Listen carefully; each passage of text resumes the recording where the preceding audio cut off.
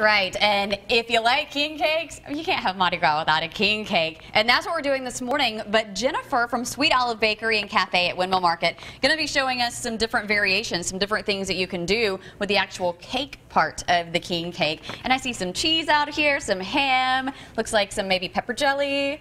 It is. Um, you know, I did not grow up with Mardi Gras growing up in Northwest Arkansas. So Uh-huh. king cakes to me are what I've discovered um, on my own. And last year we did very traditional. I showed you how to make the brioche dough and filled it with traditional jelly and cream cheese or cinnamon and sugar.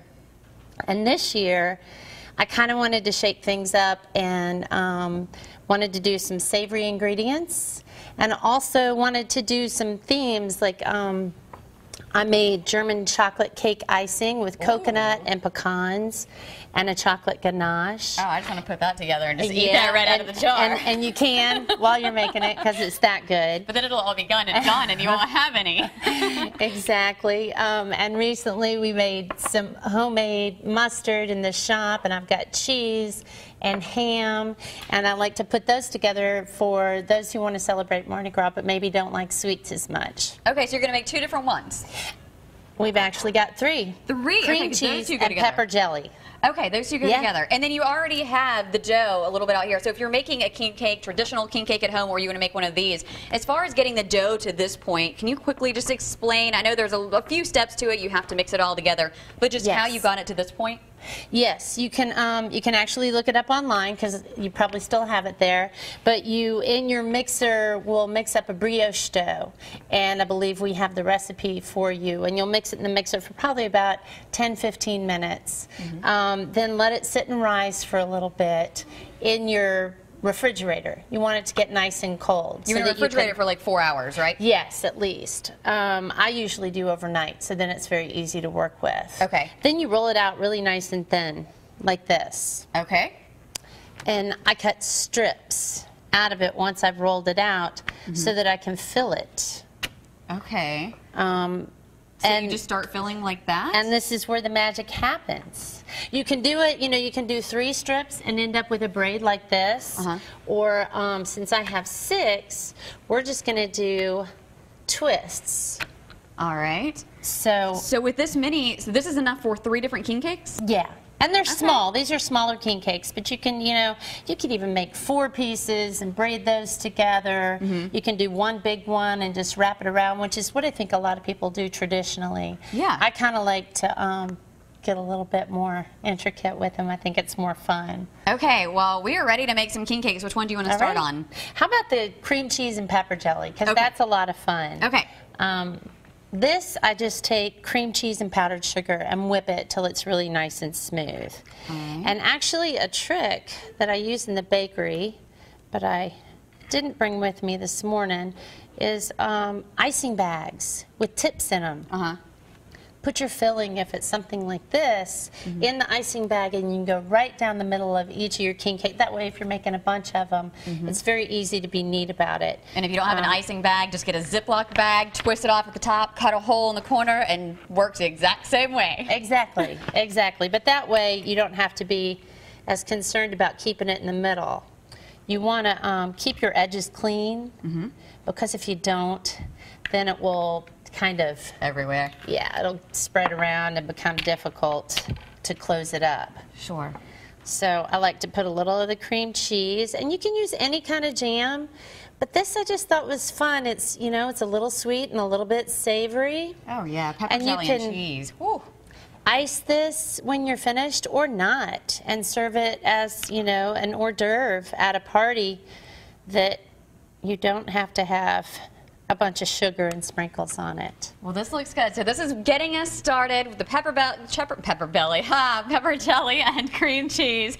And again, that recipe is on fox10tv.com on our Studio 10 page. Now, when we come back, Jennifer, I'm going to let you show us how to twist it all up. Sound good? Okay, And then we'll good. start on the ham, cheese, and mustard. How's that sound? all right Back in our Rouse's kitchen with Jennifer from the Windmill Market. Jennifer, good to have you here. thank you Tell Good the folks a little bit about the Windmill Market. the windmill market is uh, steadily becoming the place to hang out in downtown fairhope for families and food and fun We've got Sweet Olive Bakery, um, a juice bar cafe, and Mr. John's Barbecue and Mary Ann's. Yep. There's also a lot of local food, produce, arts and crafts, and we have music all weekend long. It is a fun place to hang out. We had Mr. John in here recently on Studio 10 cooking up some barbecue. Yeah, he's something else. Great to go check him out in there and all the things at the Windmill Market, one of which is a king cake we're working on right Yep. now. So tell us what we're going to do with this segment. So we're going to go ahead. I'll show you how we roll it up, but really quickly, I'm going to grab this one out of the oven Sure. so we don't burn it. No problem. I tried to make one ahead so we could be sure and taste it. Ooh, it looks like it's perfectly done. We'll see. I think so. Nice work. Golden um, brown on the top. Exactly. That's what we want with brioche. So I'll show you quickly when we fill it like this, you want to take your brioche and gently take the, the dry parts of the dough and press them together. And it won't always be perfect. You'll see it'll squish out some, but the better you can get to keeping the dry together, the better it will stay sealed. Okay. Otherwise, it'll tend to um, squish out while you bake it. So do you make all these different kinds of king cake at the Windmill Market, or you just do a few Yes, we specialty do. ones? Or? Okay. We do. Um, I primarily make them to order. Mm-hmm. I tried to make king cakes on the weekends to have them around and ready. Sure. But the savory ones are new. I just came up with them. So that's definitely an order. All right. So if you want to get your hands on one of these, you can watch how to make them today, or you can go over to Windmill Market and place an order. Exactly. All right. So you Exactly. kind of twisted them up. So there. these, when I have two, I just twist it. Mm-hmm. And I'm going to do it quickly so we can show you the yummy ingredients to the next. you make it look so easy. It is pretty easy, actually. The fun thing about dough is that it rises up and it looks beautiful, you know, whether it's perfect or not. All right. So what do we have on this one here? This is a savory one, and this is a lot of fun. We made some homemade mustard the other day for the first time, which I was super fired up to figure that out. Cool. Um, and I've got some ham Mm-hmm. that I've chopped finely here. I'm going to run that on top of the mustard. Is it kind of a Dijon Maybe a mustard little that bit you made? more. Um, it's a spicy horseradish, Spicy. Okay. and I used yellow and brown mustard seeds. I'm just scratching the surface. Okay. I put a little, um, a little dark beer in it as well, which Wow. was interesting. You know, you can use wine or beer, Uh-huh. whatever. Then I'm going to take some shredded cheese. Uh, Swiss or cheddar is nice, and I've actually got this pretty full.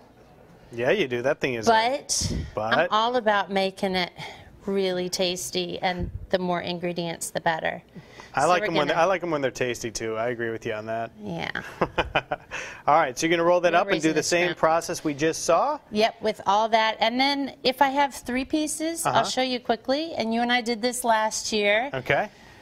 You braid it Uh huh. like this, just oh, one Oh, after just, another. Just like that. Just so simple. Just like that. And then you're going to do the same thing like we did with the other and roll it around. And you just kind of cinch your pieces together. Wow. And you'll place it on a parchment mm-hmm. and let it proof for about an hour and a half. All right, sounds good. Well, we'll have more Yeah. with the Windmill Market in just a little while here, making king cakes for the Mardi Gras season, guys. Happy Friday. Hope your Friday morning is off to a fantastic start. It is here in our Rouse's kitchen. We have Jennifer Hafner from Sweet Olive Bakery and Cafe at Windmill Market showing us a little twist on the traditional king cake because we've all had the king cakes with the sugar and the glaze and those are so yummy. But Jennifer, you're showing us how to do three different things with king cakes. Yes, um, we're getting a little bit fancier with the sweet king cakes. I am a chocolate fan. If I'm going to eat something sweet, it has to include chocolate. Yeah, I like chocolate. So the um, German chocolate filling, you do the same way we did our other fillings. And the other And- fillings, just to recap, you had one with pepper jelly and cream cheese, and the other one And the other one was mustard, cheese, and ham. Okay, so one is in the oven, and then the pepper jelly and cream cheese is here. We're going to work on this German chocolate. Yes, so chocolate ganache is made Oh. using heavy cream and a bittersweet German chocolate is what I use. Uh-huh. Um, and you, you heat your cream up and you chop your chocolate up really fine and you let it sit and then you get to mix it and it becomes this delicious, wonderful stuff. And you know, we may not have the patience to let it dry, but ganache is wonderful because you can make it fluid like this Uh-huh. to, you know, make a design or whatever. And then if we let it sit for a little bit, it'll dry.